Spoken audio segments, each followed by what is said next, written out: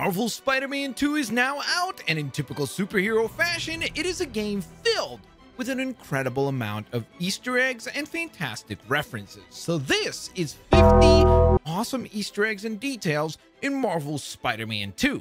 Let's dive on in. Oh, and spoiler alert, of course. We kick things off with Peter Parker's home, or I guess outside of Peter's house, where we find out that he lives on AMFAN Street, and the house number is 15. And for those of you that are not aware, this is of course a reference to the very first comic book appearance of the webhead himself, which is of course Amazing Fantasy 15, hence why AMFAN 15.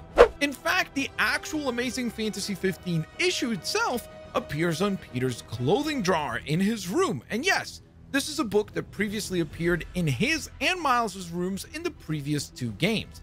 If only this was the real thing, honestly, selling one of these would legitimately help him with all his financial troubles.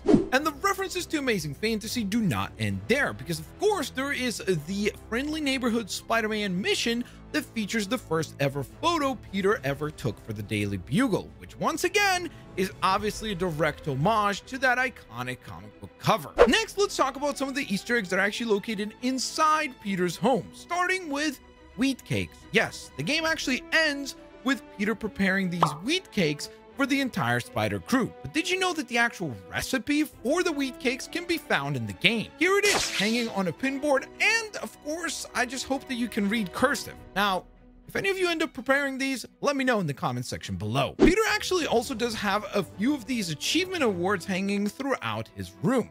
And it is interesting to take notice that the signature on the document seems to read Dr. Stan Lee. Of course, a reference to the legendary Stan the Man Lee himself. Speaking of Stan Lee, unfortunately, we do not get an actual cameo for Stan, but on the bright side, the statue in his memory can still be found in the game by Mick's Diner, along with a plaque that reads, dedicated with love to the man who nourished the hearts, minds, and souls of true believers everywhere. Excelsior. And as if that wasn't cool enough, when you hit level 33 in Marvel's Spider-Man 2, you unlock this Into the Spider-Verse suit, which some of you may remember is the suit that Miles buys in the Into the Spider-Verse movie from Stan Lee's costume shop, where he tells him this.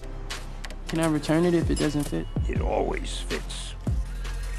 Eventually. Well, if you take a look at Miles' costume in the game, he has a tag from Stan's shop that reads that same line. Very cool attention to detail. Back to Peter's house we go. Another cool detail that can be found in Peter's home is the Pym Science Camp Pioneer Award that is actually hanging in Peter's room as well as that previous award we just talked about. But the fun part is really the signature on the document itself once again, but this time it reads Dr. Hank Pym. Most of you know him better as Ant-Man. It's also cool that both Peter and Norman Osborn display their achievement awards from Hank Pym proudly. They are both science nerds for sure. Finally, it's really cool to see that Peter still has posters of his early days as Spider-Man, or maybe I should be saying the Spider, hanging in his room, where he was competing in wrestling matches, most famously against one Crusher Hogan. Next, let's travel to New York itself, which is filled with lots of made up companies, brands, and advertising billboards. Of course, it's New York after all. But interestingly enough, there are actually two real brands that appear in the game as well, those being an Adidas store and a Warby Parker eyewear store. These obviously happened as a result of the real life collaborations that have taken place between the two brands and Marvel Spider-Man 2. Another incredible new place that you must visit while playing the game is the brand new Baxter Building, which of course is the home base of the Fantastic Four. So not only do we know that the Avengers exist in this universe, but so do the Fantastic Four. Although interestingly enough, it seems like they might have only recently moved in, because even their iconic logo is not done being painted onto the top of the building. Now, of course, locations like Avengers Tower, the Sanctum Sanctorum, and the Wakandan Embassy are back, but did you know that you can actually interact with the Wakandan Embassy as Miles Morales? Simply walk up to the entrance and Miles will emote the Wakanda Forever salute. Next, we're traveling over to Coney Island, where there is a ton of really cool Easter eggs, the most obvious of which is, of course, the Speed Demon roller coaster ride. This is obviously a reference to the Marvel villain by the same name. In fact, they even have a standee of him throughout Coney Island itself. Next, we have the arcade that we get to spend some time at. Well, the name of said arcade is actually Kadensky's Arcade. This is, of course, reference to the Marvel villain by the same name, known as Arcade, or his acronym for his name would be AR Kadensky. Another fun fact about the arcade is that if you do all the optional mini games during the Coney Island mission, you can actually unlock these silly costumes to wear. Next, we have this awesome ride, the mascot of which is this giant octopus with a doctor's stethoscope equipped. This is obviously a reference to Doc Ock, the main villain of Marvel's Spider-Man. Followed by that, we have the Hydro Bench minigame, which is clearly a reference to the Spidey villain by the name of Hydro Man, whose real alias is actually Morris Bench, hence the name Hydro Bench. You can also stumble across a stage titled the Dazzler Stage, which is a reference to the X-Man by the same name. And fun fact, Taylor Swift is actually rumored to be playing this same character in the upcoming Deadpool 3 movie. Additionally is the giant, or I guess I should say big, Ferris wheel by the name of Big Wheel, and this of course is a reference to the Goofy villain by the same name. Another Marvel reference can be found when playing at the previously mentioned arcade. The whack-a-mole-like game is actually titled Hydra Head Hitters. This is of course a reference to the evil Hydra organization from Marvel Comics. And finally, right next door to Coney Island itself is the baseball diamond or the baseball field. And if you run a Spider-Man on said field, all of the bases that are available to you, not only will you be rewarded with a PlayStation trophy, but in addition to that, it actually has unique dialogue that plays depending on which of the two Spider-Man you play as. And Parker does it all with the home run bunt. Never in all my years have I seen one man accomplish so much by doing so little. What a season! What a season! This next Easter egg is both sad, but it is neat to see that Insomniac cares so much about their people, because at this location in the city, you can actually find a mural to Dan Johnson, who's a level designer who passed away in 2006, and Insomniac decided to honor him with this small gesture in the game. And staying on the topic of tributes, just like in the previous titles, you can indeed visit the gravestones of Uncle Ben and Aunt May, as well as the gravestone of Miles's father, Jefferson Davis. The interesting thing is that you can visit the graves as either Spider-Man during different points in the story of the game to receive unique dialogue. You would not believe the month I've had, Pops. Flying solo now. Trying to earn it, Mrs. Parker.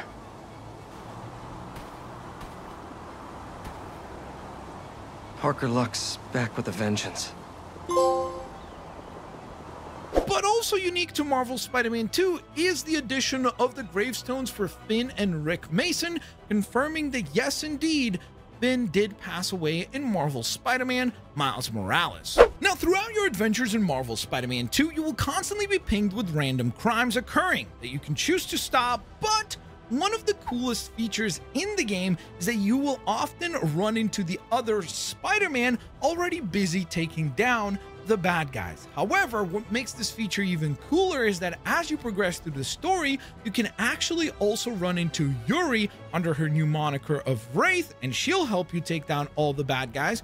And even you could run into Agent Venom, Harry Osborn.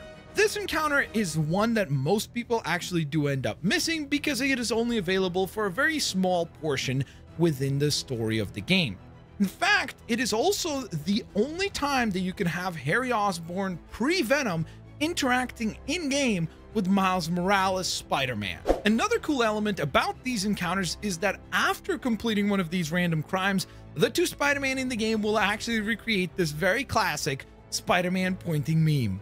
Speaking of cool, this is one of my absolute favorite Easter eggs in the game. If you dive from a tall building and hold down and square, Spider-Man showcases his incredible Rubik's Cube skills, solving the entire thing with plenty of time still left to fire a web and swing away before hitting the ground. And speaking of skills, you guys can show off your skills and support for the channel by taking a quick moment to hit the thumbs up button. Thank you so very much for your support. Next, we have this incredible discovery made of an unused Kraven the Hunter throne room where you can see Kraven's epic looking throne, but more interestingly is what is behind him, and that is the mounted heads of several iconic Spidey villains, including Scorpion, Vulture, Shocker, and even Rhino. Now, although three of these four are outright confirmed to be eliminated by Kraven in the game, this possibly also can be used as confirmation of Rhino being gone within this universe as well. Now, as you play Marvel Spider-Man 2, you will surely use the epic spider arm attacks that are accessible to Peter Parker's Spider-Man. But did you know that the actual arms themselves will change to match the design of the suit you're wearing?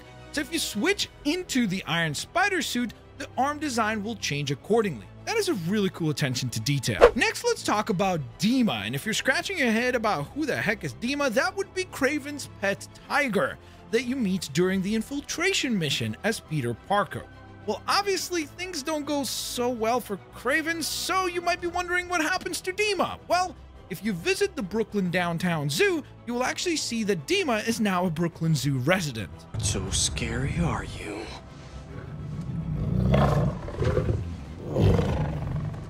Another resident of New York is the returning Greg Miller shirtless Spider-Man guy, but this time instead of being at a Halloween party, he's seen hanging out with another Kinda Funny co-host Blessing Adeoye Jr. on the rooftops of New York. A blink and you will miss it Easter egg is that Peter says the on your left line On your left. quite a bit when running past other characters. This may very well be an homage to that infamous scene with Captain America and Sam Wilson from Captain America Winter Soldier. During the flashback scene to Peter and Harry's time at Midtown High School, not only do they deliver an awesome homage to Rick Roll, I just want to tell you how I'm feeling. Damn it, Gotta you're in the make office. you understand. Never gonna give you up. Never gonna let you but we also actually get our first look of what Flash Thompson in this universe looks like. We knew of his existence from the very first game, but this is actually the first time that we get a look at him, albeit in his football uniform. There are multiple times in the game that you dive into the sewers of New York. Well, make sure to take a quick look at the manhole covers themselves because they feature a cool Easter egg to Insomniac Games. In fact, Insomniac Games appears once more at the house of Dr. Curt Connors. When making her way through his kitchen, take a moment and pause to zoom in on the two jars of coffee beans laying on his counter, and they will read Insomniac Decaf and Insomniac Robust. There are a ton of cool posters throughout New York City, but none are as cool as this one of a dog called Goose. And it also specifically reads, Do not chase. This, of course, is a reference to the I hate chase of Goose line from Marvel Spider Man.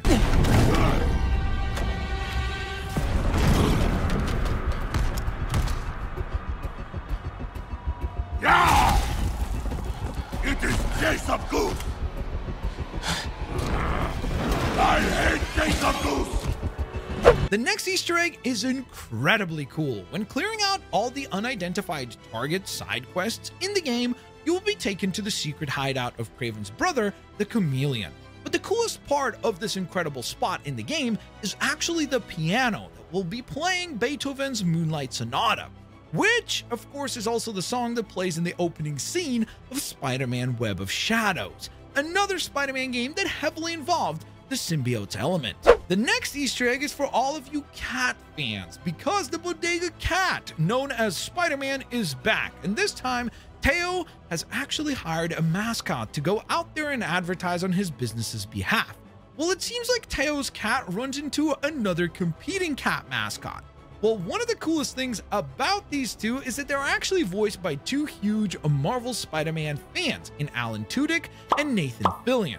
And the other element that I found cool is that Teo's mascot looks more like the OG or the classic Spider-Man design, while the new mascot seems to have a more similar design to Ben Reilly or the clone Spider-Man, since this is a clone mascot. A small but nevertheless cool reference is the frisbee that you see these two gentlemen playing with within New York City This, of course, is a reference to Captain America's shield. Speaking of shields, the infamous Marvel organization known as the Strategic Hazard Intervention Espionage Logistics Directorate, or more commonly simply known as SHIELD, is actually referenced during the Miles Morales Music Museum Tour mission. And since we're on the topic of the Marvel Universe as a whole, you will be happy to know that Nelson and Murdock's offices are indeed back, even though the launch version of the game, their office plaque appeared blank.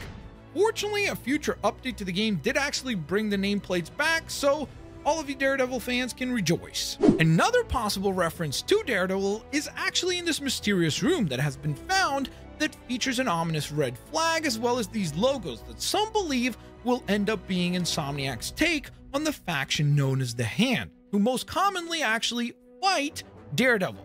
So we might actually be getting a Daredevil DLC for Marvel Spider-Man 2. Now the game actually features a couple of bike riding missions, but you can only complete them as Peter. However, if you want to ride the bike outside of those missions while controlling Spider-Man, simply head to this spot in the game and you can actually find a rideable bike and take it for a ride around town. Now, if you get a little too far from the spot, it will freeze and teleport back to its original location, but you can make your way back and ride it all over again. And as if riding the bike was not cool enough, with all the hectic things going on within New York, maybe you would rather take a moment of peace and quiet and simply do some yoga with some of the other citizens of New York. And guess what? You can do just that in Marvel Spider-Man 2.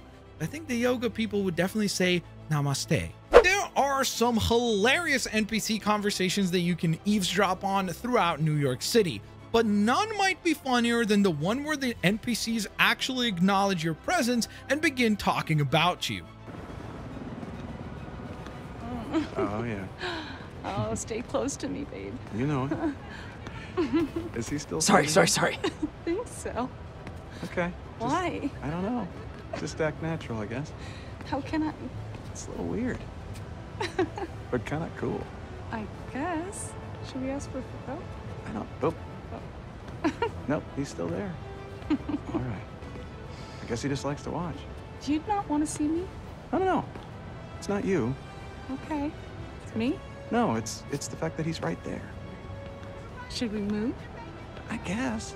I am sure that as you were swinging throughout the city, this giant Norman Osborn mural might have caught your eye, and it is particularly interesting that it seems to depict the storyline of the first game with the Devil's Breath. But interestingly enough, he also seems to sport some green and purplish horns, both colors that are actually typically associated with a certain character by the name of Green Goblin. A nice bit of foreshadowing here. This next one is going to be a bit of a heartbreaker because if you don't know, one of the most infamous Easter eggs from the very first Marvel Spider-Man game is the proposal Easter egg, where a gamer convinced Insomniac to include a proposal for his girlfriend within the game. And Insomniac obliged, only for the couple to break up and things got very, very messy to say the least. Well, in place of that theater that featured the proposal line now stands a health clinic by the name of Heart.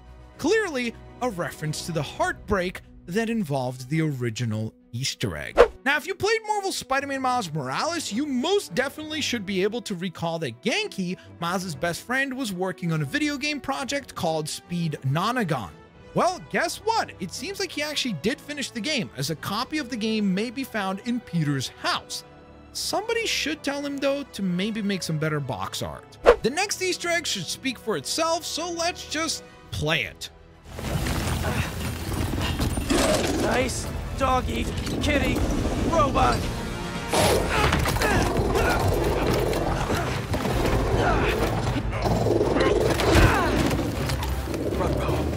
Okay, well, just in case if you're uncertain as to what exactly just happened, then that little Ruro, I think I said that correctly, from Spider-Man is obviously a reference to the legendary Scooby-Doo. And finally, the last Easter egg is one that may have massive implications for what is next for the Insomniac Games universe. When playing Marvel Spider-Man 2, you most definitely saw the Spiral logo on the meteorite rock that Venom so desperately wants to get a hold of.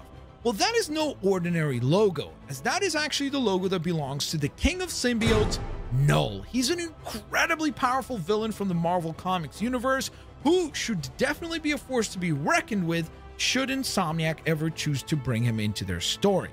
I don't know if they will, but they most definitely have planted the seeds for such a possibility. And there you have it, guys 50 Easter eggs and details in Marvel's Spider Man 2. And there are so many more, so make sure to hit the thumbs up button and share the video with a fellow Spider Man fan if you would like me to make a part 2 for this video. Thank you guys so very much for watching, and I'll hopefully catch you all here on the next one.